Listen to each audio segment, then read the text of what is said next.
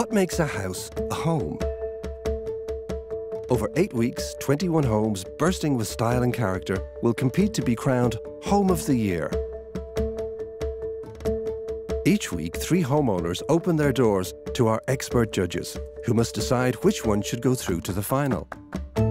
Interior design legend Hugh Wallace has more than 30 years' experience in high-end design. I love going into a home and I'm going, God, I'd never have thought of that. And it just works so well. Award-winning architect Declan O'Donnell is looking for homes designed for living. What I don't want to say are homes that are effectively show homes because they're for someone else, and that is exactly the opposite of what we're looking for in this competition. Helen James, textiles and homeware designer, has a passion for unique interiors. Size doesn't matter in this competition. In fact, the smaller the home, the smarter the homeowner has to be. But there can only be one winner. This is Home of the Year.